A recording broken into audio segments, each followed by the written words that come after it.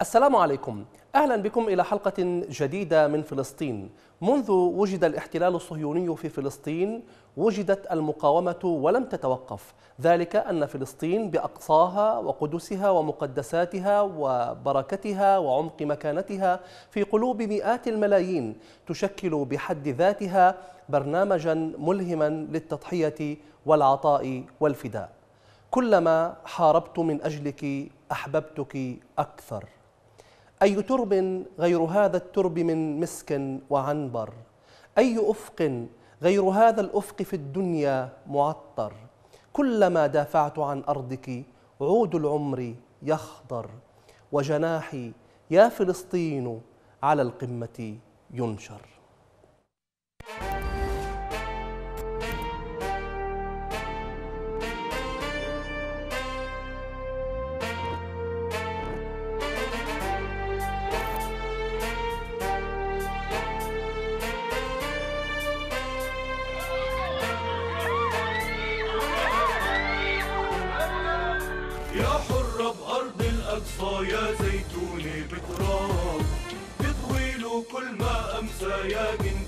بمحراب يا حرة بأرض الأقصى يا زيتونة بتراب. بطويل كل ما أمسى يا جنديل بمحراب ويا مرابطة ليل نهار تصنع فجر الانتصار. ليل نهار تصنع فجر الانتصار. وبزنودك تحمل أسوار ومنك هالعسكر هابوا هابوا بدي افوت على الاقصى بالغصب عنهم افوت بالراح بالدم. بدي يا اقصى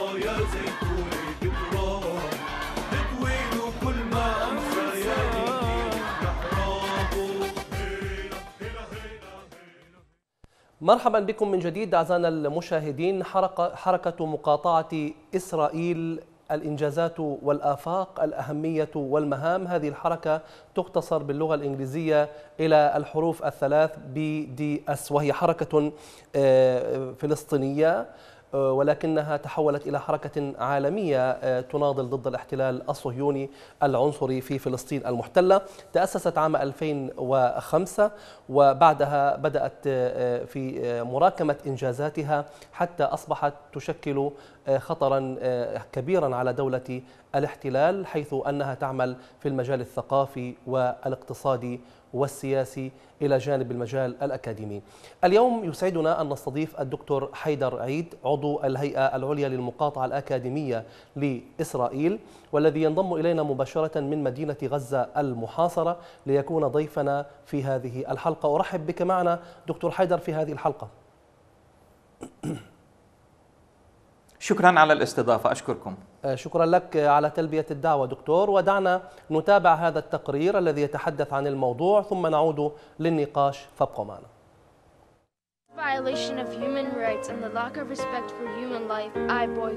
حركة مقاطعة إسرائيل وسحب الاستثمارات منها وفرض العقوبات عليها هي حركة فلسطينية المنشأ عالمية الامتداد تسعى لمقاومة الاحتلال الإسرائيلي من أجل تحقيق الحرية والعدالة والمساواة في فلسطين. تأسست عام 2005 عندما اجتمع أكثر من 171 منظمة مجتمع مدني فلسطيني نادت على المجتمع الدولي بمقاطعة إسرائيل عدم الاستثمار منها ومن الشركات التي تستفيد من نظامها الاضطهادي وفرض عقوبات عليها بالضبط كما تم فرض عقوبات على نظام الأبارتهايد في جنوب أفريقيا حتى يتم تطبيق القانون الدولي. تتناول مطالب حركة مقاطعة إسرائيل بي دي أس طموح وحقوق الشعب الفلسطيني التاريخية من فلسطيني 48 إلى قطاع غزة والضفة الغربية مما فيها القدس إلى المخيمات والشتات والذي شرذمه الاستعمار الاستيطاني على مراحل. نجحت حركة مقاطعة إسرائيل في بداية عزل النظام الإسرائيلي أكاديميا وثقافيا وسياسيا وإلى درجة ما اقتصاديا حتى بات هذا النظام يعتبر الحركة اليوم من أكبر الأخطار الاستراتيجية المحدقة به إنجازات على المستوى الاقتصادي والمستوى الثقافي والمستوى الأكاديمي. أكبر دليل على إنجازات حركة المقاطعة هو تصريحات قادة الكيان الصهيوني انفسهم. يعتبروا حركة مقاطعة إسرائيل أصبحت تشكل خطر استراتيجي يتحول إلى خطر وجودي على دولة إسرائيل. وزارة الشؤون الاستراتيجية تهتم في موضوعين وتعتبرهم خطر استراتيجي وجودي على إسرائيل، هي الخطر النووي الإيراني وحركة مقاطعة إسرائيل. دليل آخر على جدوى حركة المقاطعة هي الحملة الشرسة المستمرة من قيادة الكيان الصهيوني ضد الحركة من تجريم من آه، سن القوانين التي تجرم من حركة المقاطعة ملاحقة الناشطين حتى وصل الأمر إلى تهديد بالاغتيال المدني لنشطاء المقاطعة. وتعرف الحركة نفسها أنها حركة مقاومة سلمية اشتمالية لا إقصائية مناهضة للعنصرية بكافة أشكالها بما في ذلك الصهيونية ومعاداة المجموعات الدينية والعرقية كافة وتحظى بدعم من قبل اتحادات ونقابات وأحزاب ومؤسسات المجتمع المدني الدولي كما تؤيدها شخصيات مؤثرة في الرأي العام. أهلا بكم من جديد أعزائنا المشاهدين. أهلا كذلك بالدكتور حيدر عيد عضو الهيئة العليا للمقاطعة الأكاديمية لإسرائيل الكيان الصهيوني. أرحب بك معنا مرة أخرى دكتور حيدر. شكرا شكرا. دكتور منذ أن تأسست هذه الحركة وهي في عمل دؤوب استطاعت من خلاله أن آه، تكون آم، يعني تشكل مثار انتباه آه، الصهاينة اولا وكذلك آه، تحظى باحترام كبير من آه، عدد آه، أو قطاعات واسعة من الأكاديميين والسياسيين في أوروبا وأمريكا وأكثر من مكان في هذا العالم. وأنتم دخلتم في هذا الاتجاه للنضال ضد الاحتلال الإسرائيلي. آه، من باب من الباب الذي تريده إسرائيل وتفهمه وتنادي به يعني أو ينادي به العالم كله مقاومة سلمية شعبية أكاديمية متحضرة إلى آخره. آه، آه، لماذا بدأتم بهذا العمل؟ ما أهمية أن تكون لدينا حركة مقاطعة من هذا الطراز؟ مرة أخرى أشكركم على الاستضافة. أنا يعني حقيقة يعني سؤالك غاية في الأهمية لأنه يحتم علينا أن ننظر إلى الخلفية التاريخية التي انطلقت من خلالها حركة المقاطعة الفلسطينية بامتداداتها العالمية كما تفضلتم. يعني أنا على الصعيد الشخصي أنا تخرجت من جامعة جوهانسبرغ أخذت شهادة الدكتوراه من جامعة جوهانسبرغ وأنا أقول هذا الكلام لأن التجربة الجنوب أفريقية ضد نظام الأبارتهايد ونداء المقاطعة الذي صدر في من جنوب أفريقيا وبالذات في نهاية الخمسينيات 1958 59 من قبل مجموعة من أعضاء حزب المؤتمر الوطني الأفريقي الذي كان يقوده الراحل الكبير نيلسون مانديلا. هذا النداء صدر من مدينة لندن في بريطانيا ودعا المجتمع الدولي إلى الالتزام بالقوانين الدولية من خلال مقاطعة نظام الأبارتهايد boycotting apartheid كما تفضلتم باللغة الإنجليزية BDS وعدم الاستثمار وفرض العقوبات على نظام الأبارتهايد حتى يستجيب للشرعية الدولية. وتعريفهم للشرعية الدولية في ذلك الوقت هو إنهاء نظام الأبارتهايد بالكامل وخلق مجتمع ديمقراطي في جنوب أفريقيا. بالنظر إلى القضية الفلسطينية وجدنا أن هناك على الرغم من وجود اختلافات طبعا ما بين ما حصل في جنوب أفريقيا وفلسطين لكن هناك أيضا أوجه شبه. وحركة المقاطعة ضد نظام الأبارتهايد كانت تشكل عمودا رئيسيا من أعمدة النضال ضد الأبارتهايد حيث كان النضال الأفريقي في جنوب أفريقيا يعتمد على أربع أعمدة رئيسية ضد النضال منها الكفاح المسلح منها التعبئة الشم... الجماهيرية والشعبية العارمة منها النضال التحت أرضي والعمود الأخير هو هو نداء المقاطعة والتضامن الدولي. سئلنا أكثر من مرة كمجتمع مدني فلسطيني وحتى كهيئة قوة وطنية وإسلامية إلى آخره من قبل المتضامنين الأجانب والدوليين ما الذي تريدونه منا كمجتمع دولي؟ ما هو المطلوب منا كمجتمع مدني؟ نعم. وأيضا كحكومات. ونحن ارتأينا أنه بعد أن درسنا التجربة الجنوب أفريقية وقبلها التجربة الهندية وأيضا تجربة الجنوب الأمريكي مارتن لوثر كينج إلى آخره أن أسلوب المقاطعة هو أنجع أدوات التضامن مع المضطهد. وهذا ما حصل في منتصف الثمانينات كانت الحكومة الأمريكية تعتبر نيلسون مانديلا أكبر إرهابي على سطح الكرة الأرضية. كان حزب المؤتمر الوطني الأفريقي وهو الحزب الحاكم الآن في جمهورية جنوب أفريقيا مدرجا على قائمة الإرهاب في الولايات المتحدة الأمريكية وبريطانيا وأوروبا. فبالتالي تساءلنا ما الذي حصل ما بين 1985 86 و 1990 عندما أطلق سراح نيلسون مانديلا من السجن ومنح جائزة نوبل للسلام وتم انتخابه كأول رئيس أسود لجمهورية جنوب أفريقيا متعددة الأعراق والأجناس والثقافات والديانات عام 1974 وكان الجواب دائما يأتينا هو تعدد أساليب النضال وأيضا التركيز على مقاطعة نظام الأبارتهايد ليس فقط اقتصاديا كما يعتقد البعض بل أيضا اكاديميا كما تفضلت وثقافيا ورياضيا. وبناء على ذلك قمنا عام 2004 قبل عام 2005 بإطلاق نداء المقاطعة الأكاديمية وأنا لي الشرف أنني عضو في الحملة الفلسطينية للمقاطعة الأكاديمية والثقافية لإسرائيل لأننا نعلم ونعرف بشكل جيد أن صراعنا مع الاحتلال الصهيوني هو صراع على الوعي وعلى الذاكرة. وبالتالي طالبنا بمقاطعة المؤسسات الأكاديمية الإسرائيلية بسبب تواطؤها بل مشاركتها في انتهاكات القانون الدولي ضد الشعب الفلسطيني. وعام 2005 قمنا بإطلاق نداء المقاطعة العام حيث طلبنا بمقاطعة إسرائيل اقتصاديا وعسكريا وسياسيا إلى آخره إلى آخره. لكننا لم نعول على الحكومات الدولية بالضبط كما لم يعول مطلقو نداء المقاطعة ضد جنوب أفريقيا ضد نظام الأبارتهايد على الحكومات. في البداية عولوا على مؤسسات المجتمع المدني على النقابات إلى آخره إلى آخره. وهذه بدورها قامت بالضغط على حكوماتها لمقاطعة نظام الأبارتهايد. وهذا بالضبط ما يحصل الآن ضد النظام نظام الاحتلال الصهيوني حيث أننا نعتقد أننا قد وصلنا إلى لحظتنا الجنوب أفريقية أي تلك اللحظة التي عانى منها نظام الأبارتهايد من مقاطعة وعزل شامل من قبل المجتمع الدولي وأدت في المحصلة النهائية إلى فرض عقوبات على كل الشركات ليس فقط الشركات ال- الجنوب أفريقية البيضاء بل كل الشركات نعم. الأجنبية التي ساهمت في تعزيز نعم. نظام الأبارتهايد تمام دكتور ألا تلاحظ معنا أن آه، شيئا ما غريب في هذه في هذا الموضوع وهو أن دولة الاحتلال التي تمتلك العشرات من الرؤوس النووية وقوة عسكرية وأمنية ضخمة في العالم يهابها القريب والبعيد تخشى من حركة مقاطعة عالمية يقودها مثقفون وأكاديميون في أكثر من من مجال لماذا تخشى دولة الاحتلال هذا النوع من الحركات؟ سؤال جيد. أنا بس يعني تعديل بسيط. أنا يعني أنا لا أعتقد أنه فقط من يقود حركة المقاطعة هم فقط مثقفون وأكاديميين. أي نعم.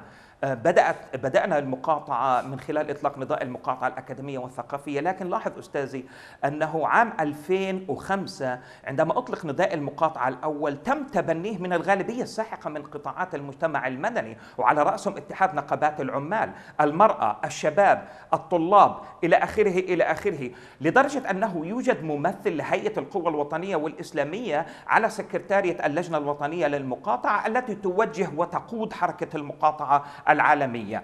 ف- فبالتالي أي نعم بدأها بعض المثقفين ولكنها أيضا استلهمت نضالها من قوى الشعب ومن نضالات الشعب الفلسطيني بشكل عام. الآن لماذا تخاف إسرائيل من من حركة المقاطعة؟ والإجابة تكمن هو لماذا خاف نظام الأبارتهايد من نداء المقاطعة العالمي ولماذا تم عزله؟ هذا هذا الجواب يكمن في أن إسرائيل هي دولة هي دولة لجيش واستورد شعب وبالتالي هناك عقيدة عسكرية هي التي توجه الكيان الكيان الصهيوني. أنا أريد أن ألخص على صعيد أو أقتبس ما قاله رئيس الأركان الإسرائيلي السابق. قال نحن كجيش رابع أو ثالث أو رابع أقوى جيش في العالم على حد قوله آه، مهيئون لمحاربة جيوش عربية مهيئون لمواجهة آه، رؤوس نووية. لكننا يعني غير مهيئين لمواجهة نشطاء سلميين لا عنفيين يدعون لدولة لعزل دولة إسرائيل. وأيضا ذكر التجربة الجنوب أفريقية. بمعنى أننا في نضالنا كشعب فلسطيني وكنشطاء مقاطعة نعول على الواعز الأخلاقي للمواطن الموجود في نيويورك للمواطن الموجود في سريلانكا للمواطن الموجود في جمهورية جنوب أفريقيا بالضبط كما عول نشطاء المقاطعة ضد نظام الأبرتايد أنا أذكر أنني في الثمانينات وكنت موجود في أوروبا كنت أمتنع عن شراء أي شيء ينتج في جنوب أفريقيا من قبل نظام الأبرتايد وهذا ما يحصل بالضبط أن لديك مقاطعة عالمية ضد شركات أجنبية ونجحنا في حملات على صعيد المثال ضد شركة فيوليا الفرنسية التي تسير قطار آه، من القدس الشرقية إلى بعض المستوطنات وهذا مخالف للقانون الدولي. ومن خلال حملتنا ضد شركة فيوليا ومع مشاركة حركة ال BDS في فرنسا إلى آخره آه، خسرت الشركة ما يعادل 23 مليار دولار وبالتالي اضطرت إلى سحب أعمالها من دولة إسرائيل. شركة جي 4 إس الأمنية التي تساعد قوات الاحتلال الإسرائيلي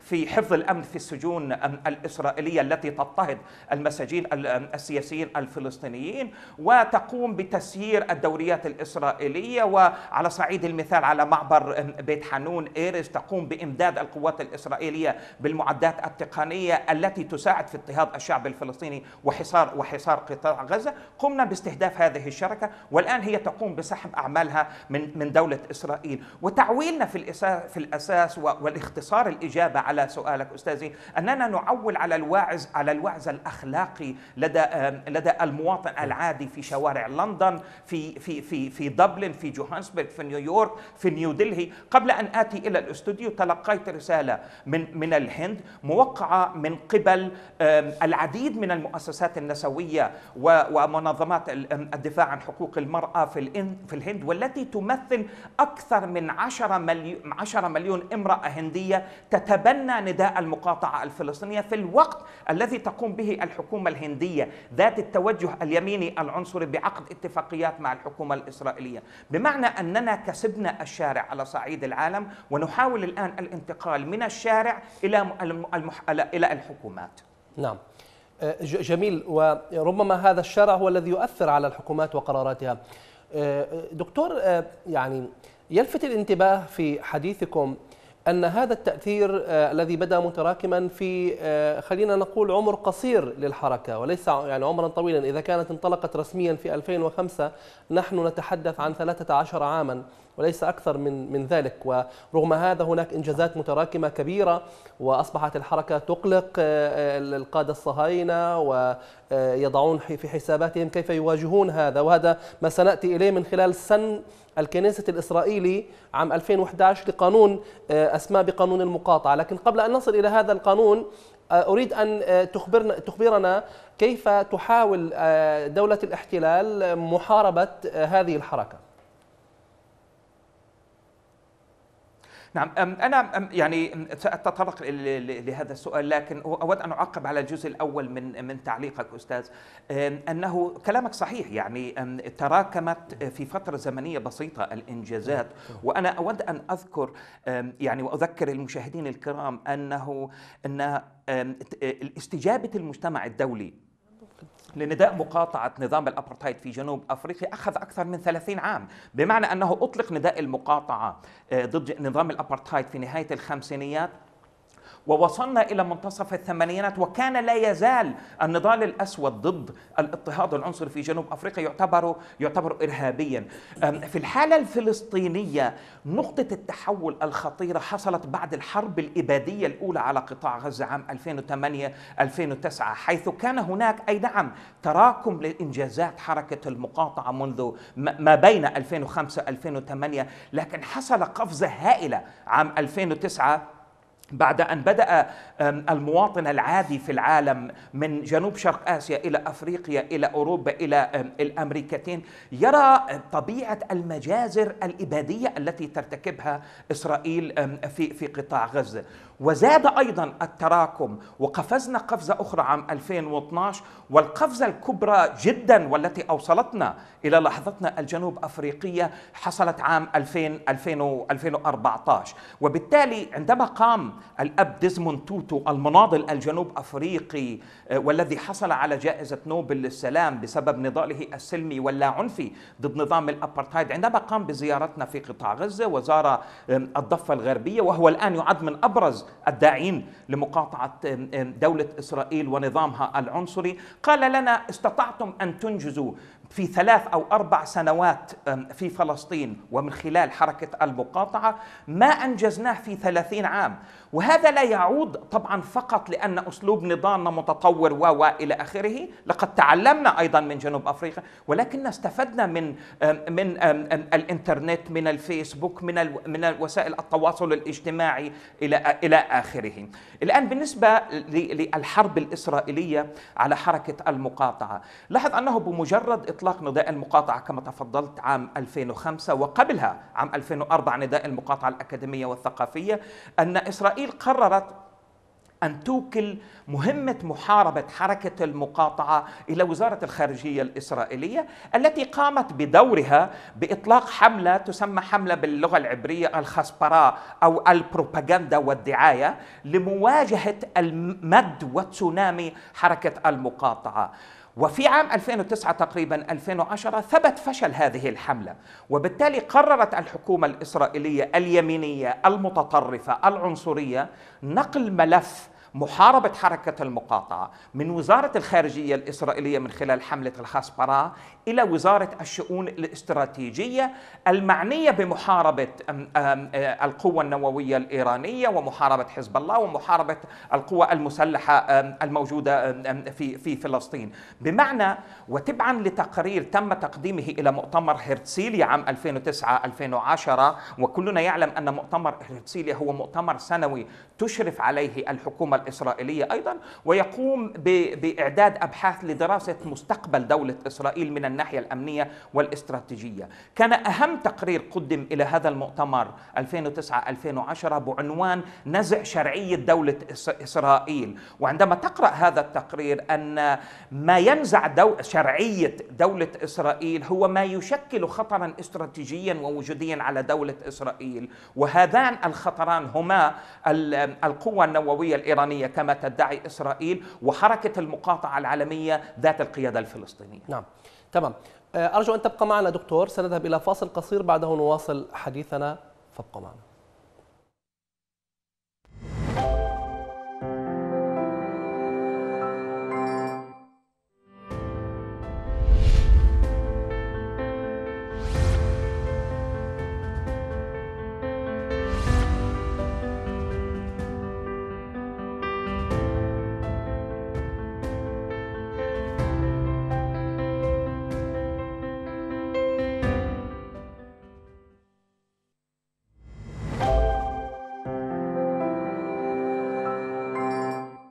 مرحبا بكم من جديد مرحبا بضيفي دكتور حيدر من غزة. دكتور لعلك تلاحظ معنا أنه على الرغم من كل هذه الإجراءات الصهيونية لوقف تمدد حركة المقاطعة لإسرائيل في العالم إلا أنها فشلت في ذلك.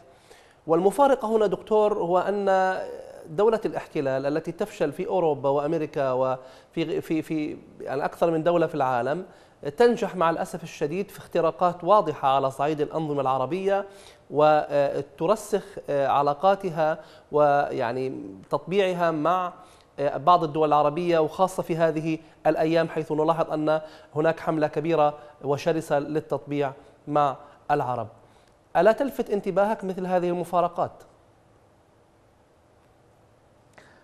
طبيعي طبيعي. أنا أشكرك على طرح هذا السؤال وكنت متوقعه للأمانة. يعني هي قضية التطبيع هي آه، ما يميز ما ما يسمى بصفقة القرن الآن. لاحظ أن حملة التطبيع الوقحة والمسعورة على صعيد العالم العربي بدأت تقريبا تزداد وتتراكم في آخر سنتين يعني. آه، لكن لاحظ أن يعني قطار التطبيع كان قد بدأ في البداية مع زيارة آه، الرئيس المصري السابق محمد أنور السادات عام 1977 لإسرائيل وإلقاه وإلقاه خطاب تطبيعي في في في الكنيسة الإسرائيلي. ثم وصلنا إلى توقيع اتفاقيات أوسلو التطبيعية واتفاقيات وادي عربة التطبيعية. وكلنا يعلم أن هذه الاتفاقيات عملت على تطويع العقل الفلسطيني على صعيد صعيد اتفاقيات أوسلو وتطويع العقل العربي من خلال اتفاقيات وادي عربة وكامب ديفيد للقبول بأن وجود إسرائيل في العالم العربي وعلى أرض فلسطين التاريخية هو وجود طبيعي بمعنى أن دولة إسرائيل كدولة استعمار استيطاني تمارس اضطهاد مركب ضد مكونات الشعب الفلسطيني الثلاث سكان الضفة الغربية وقطاع غزة سكان فلسطين ال 48 واللاجئين الفلسطينيين في في الشتات.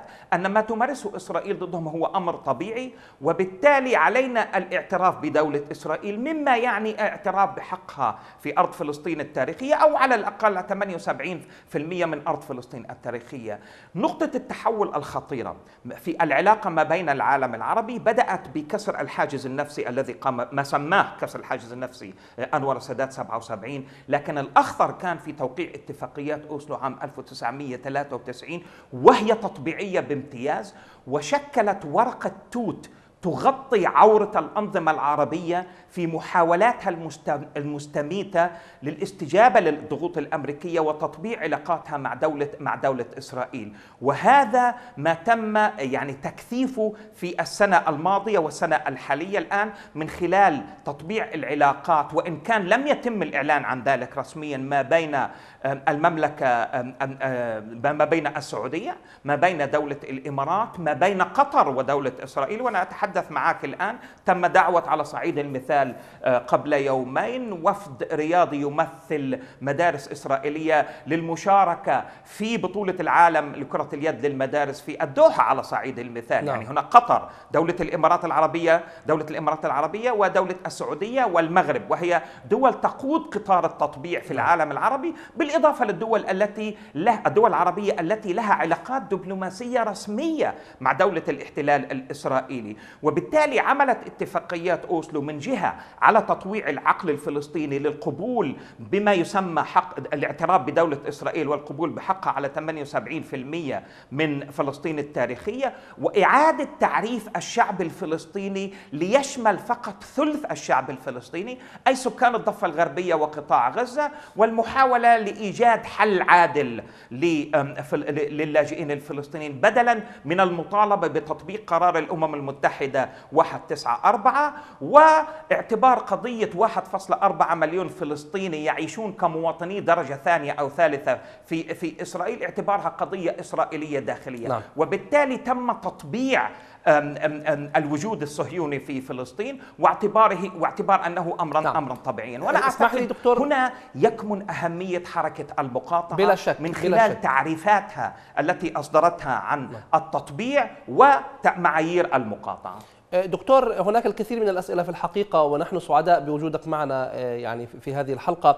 ولكن آه، السؤال ما قبل الأخير إلى أي مدى يمكن أن تستفيد السلطة الفلسطينية من من مثل هذه ال- ال- الحركات وحيث أن هذه الحركات تتسق في عملها مع ما تدعو إليه السلطة عبر رئيسها محمود عباس ومختلف مؤسساتها من آه، يعني مقاومة شعبية سلمية.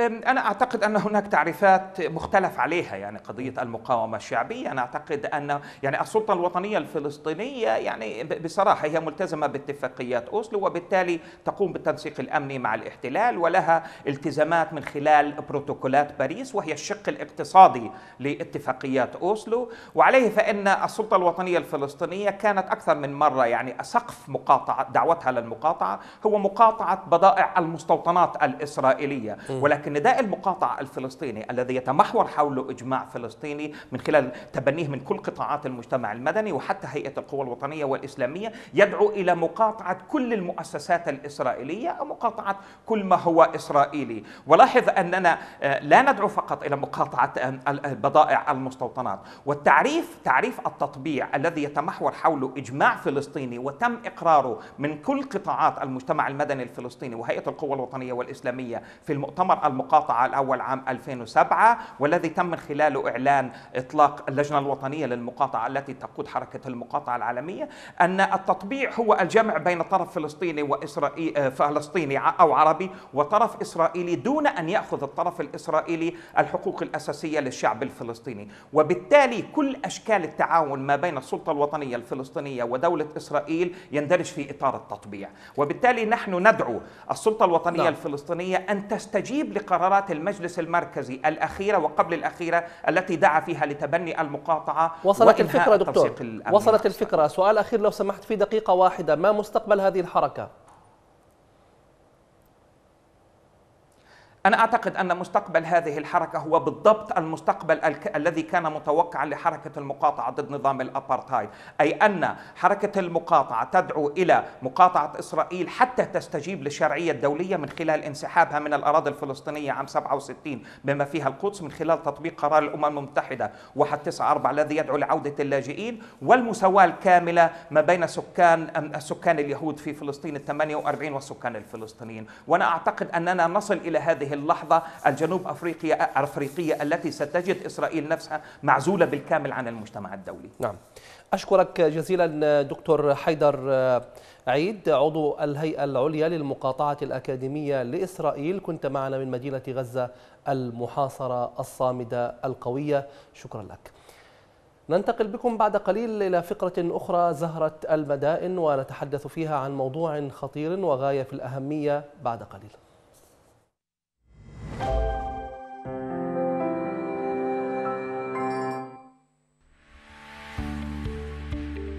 مشاهدي قناة الرافدين الكرام يمكنكم متابعة بثنا عبر القمر الصناعي سهيل سات على التردد 11142 عمودي وعبر القمر الصناعي نايل سات على تردد 1238 أفقي.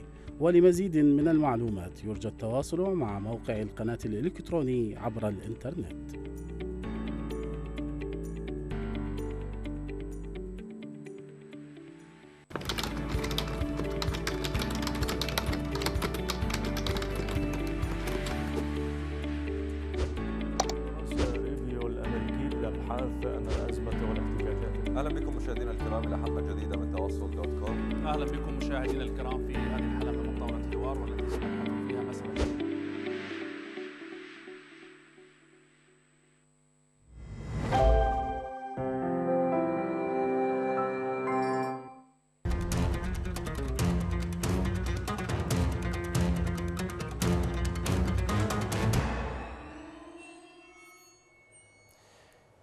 إلى زهرة المدائن إذن إلى القدس المحتلة ومخططات تهويد هذه المدينة المباركة المقدسة.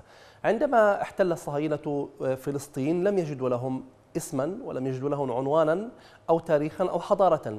ماذا فعلوا؟ سعوا إلى تهويد المكان. فقامت الحركة الصهيونية وكيانها المحتل على مدى 125 عاما بعبرنة أسماء سبعة ألاف موقع عبرنة تعني تحويل الاسم العربي إلى الاسم العبري. من هذه المواقع سبعة ألاف موقع أكثر من خمسة ألاف موقع جغرافي يعني جبال تلال أماكن جغرافية كثيرة.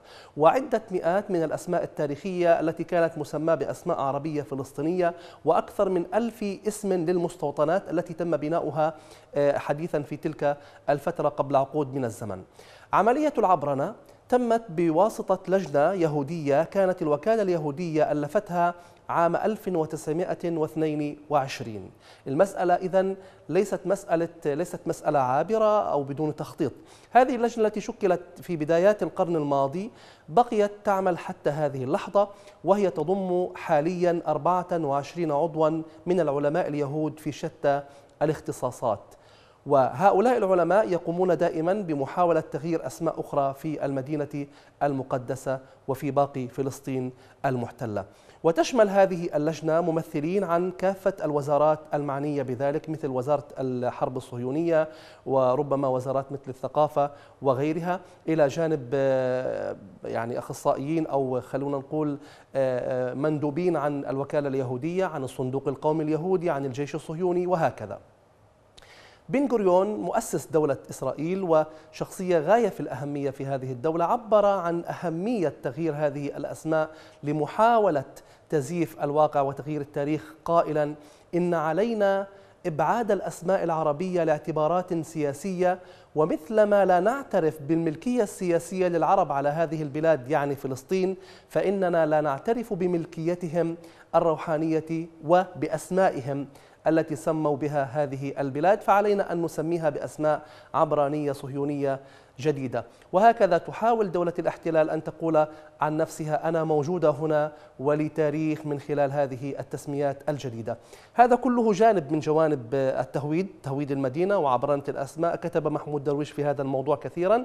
لكن دعونا الآن نرى جانب المخططات التي تعمل من خلالها دولة الاحتلال لتحويل هذه المدينة المقدسة إلى مكان سياحي فريد على مستوى العالم آه، كله من خلال بعض المخططات التي سينتهون منها بعد عقود من الآن آه، لو تم الأمر كما آه، يرغبون ويخططون. فلنتابع.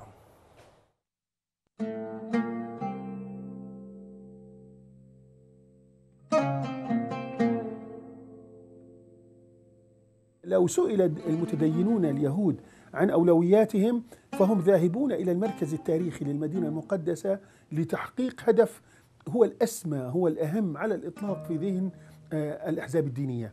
آه، في حين أن هذا الوجه آه، يشكل ويراود ويدغدغ عواطف الذين يسمونهم المطورون.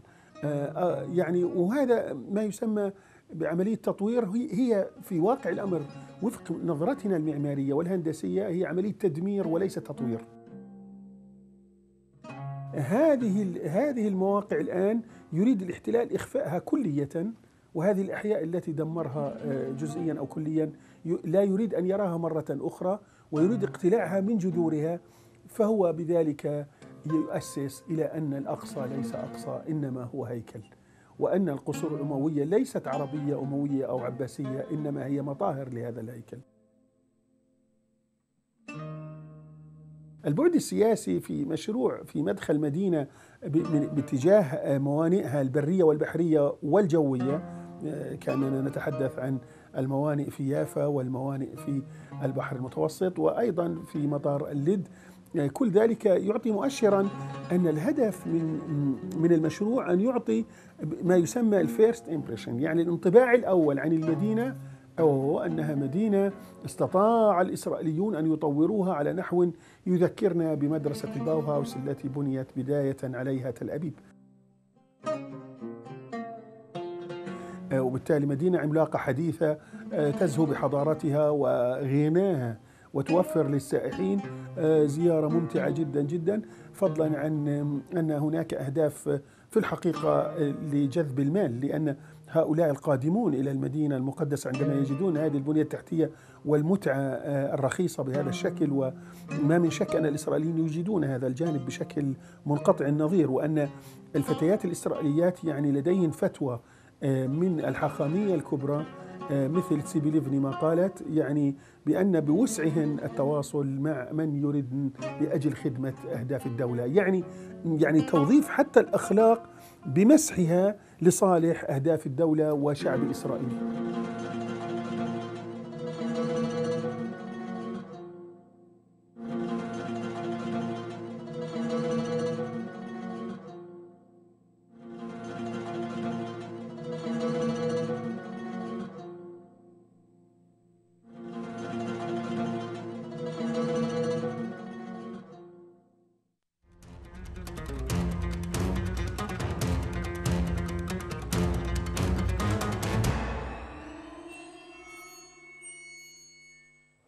مدينة أخرى تحكي قصتها التاريخية والحضارية هي عاصمة الجليل الأعلى مدينة من أجمل المدن الفلسطينية ما زالت صامدة في مواجهة العدوان الصهيوني والاحتلال الذي تم في عام 48 وما زالت كثير من بيوتها من بيوت آه سكانها سابقا قبل الاحتلال. كما هي ولم تتغير يتغير عليها شيء وبإمكان الناس أن يعودوا إليها لو كان هناك حق في هذا العالم ولو كان هذا العالم عادلا. دعونا نطالع سوية آه، صفد عاصمة الجليل الأعلى.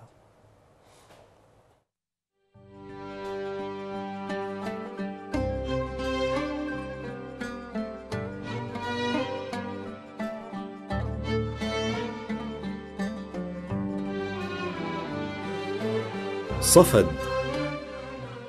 في أقصى شمال فلسطين تقع صفد والتي تعد من أقدم مدن فلسطين. أسسها الكنعانيون على مقربة من صفد أعلى جبل في فلسطين جبل الجرمق ويرتفع أكثر من 1200 متر عن سطح البحر. ورد ذكر صفد في نقوش فرعونية تعود إلى القرن الرابع عشر قبل الميلاد وعرفت المدينة في العهد الروماني باسم صيفا ويعني القلعة الحصينة. احتلها الصليبيون في القرن العاشر للميلاد وأقاموا فيها قلعة صفد التي لعبت دورا كبيرا في الحروب الصليبية بفضل إشرافها على شمال الجليل وطريق دمشق وجبلي كنعان والجرمق. حرر صلاح الدين صفد عام 1188 للميلاد واحتفظت المدينة طوال العهد المملوكي بوضعها كإحدى نيابات السلطنة في بلاد الشام. ومحطة من محطات البريد المحمول بالحمام الزاجل بين الشام ومصر.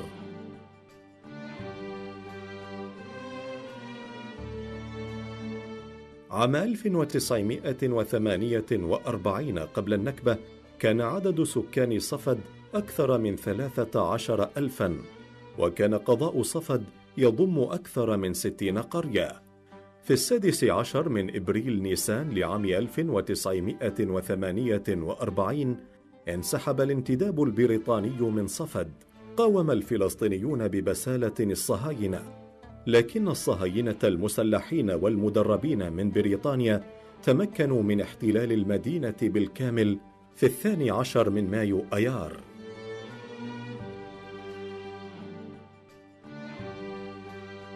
نشأت في صفد صناعة اللباد معتمدة على الأصواف التي توفرها أغنام المنطقة وكانت الصباغة بالنيلة ونسج الأقمشة القطنية من مهن أهالي صفد. واشتهرت بصناعة الحصر والكراسي من نباتات سهل الحول المائية. وتعبر أراضي صفد أربعة أنهار هي حصبايا وبانياس والدان والبريغث التي تنبع من جبل الشيخ وتصب في نهر الأردن. وتضم صفد عددا من المعالم التاريخية العريقة كالمسجد الأحمر المشيد من الأحجار الحمراء المصقولة وجامع الشيخ نعمة وجامع الحمام العنبري بالإضافة إلى جامع الأمير فيروز.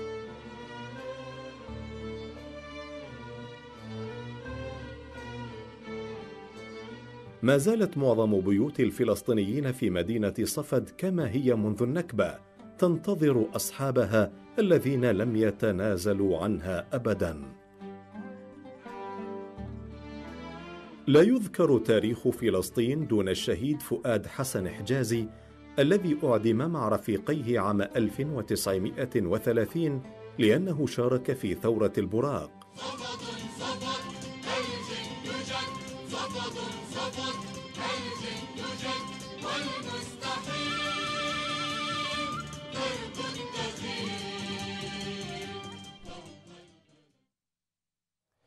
إذا هذه هي صفد ومفارقة آه، سريعة آه، يعني خطرت في بالي عندما شاهدت هذه المدينة العظيمة.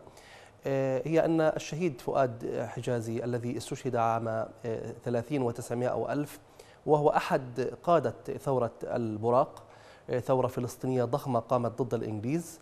أعدم الإنجليز هؤلاء الثلاثة فأصبحوا أيقونة للثورة في ذلك الوقت إلى أن جاءت ثورة فلسطينية أخرى في منتصف ستينيات القرن الماضي ودخل الشعب الفلسطيني في مقاومة الاحتلال عقودا من الزمن. بعدها أصبح هناك عملية التسوية السياسية. مهندس هذه التسوية هو السيد رئيس فلسطين الآن سيد محمود عباس. سيد محمود عباس رئيس دولة فلسطين الآن والذي يطمح أن يشكل دولة قال ذات مرة بالصوت والصورة آه، أنه لا يرغب بالعودة إلى صفد يعني لا يرغب بالعودة إليها آه، بعد هذا اللجوء الطويل وبعد هذا التهجير القسري الذي مارسه الصهاينة على الفلسطينيين إنما يمكنه أن يعود إليها آه، يعني زائرا زائرا في رحلة كالرحلات المدرس المدرسية أو الجامعية التي يقوم بها طلبة الجامعة أو المدرسة. أما هو فلا يريد أن يعود لها أو ليس بالضرورة أن يعود لها. آه، عودة آه، أخيرة وأبدية إلى موطن موطن رأسه. وهو الآن رئيس دولة فلسطين. بهذه المفاهيم يحاول الاحتلال آه، ترسيخ روح جديدة فلسطينية مع الأسف الشديد. وهذا هو الخلاف الذي يبدو واضحا الآن بين من يريد أن يقاتل حتى النفس الأخير لاستعادة الأرض المقدسة وبين من يريد أن يدخل في مفاوضات آه، طويلة آه، لن تعطي شيء. وقالها من قبل آه، شامير عندما كان رئيسا للوزراء الص- الص- الصهيوني قال بأننا نستطيع أن نفاوض في أتفه الأمور آه، عقدا من الزمن. وهكذا هم يفاوضون الشعب الفلسطيني الآن من خلال هذه القيادة التي لا تمثل تمثيلا حقيقيا ولم يأخذوا نتائج حقيقية حتى هذه اللحظة. نسأل الله الهداية لرئيسنا محمود عباس وأن يقول مرة أخرى بأن صفد هي بلدي موطئ رأسي وسأعود إليها بعد هذا اللجوء الطويل وإن لم أعد سيعود أولادي أو أحفادي وليس كما قال بل أن يستشهد على أرضها كما فعل فؤاد حجازي. من قبل الشهداء لا ينساهم التاريخ بل يخلدهم في صحائف من نور ومن خلود. تحياتنا لكم من فريق العمل في هذه الحلقة. تقبلوا عاطرة تحياتنا وتذكروا دائما إن ينصركم الله فلا غالب لكم. السلام عليكم ورحمة الله.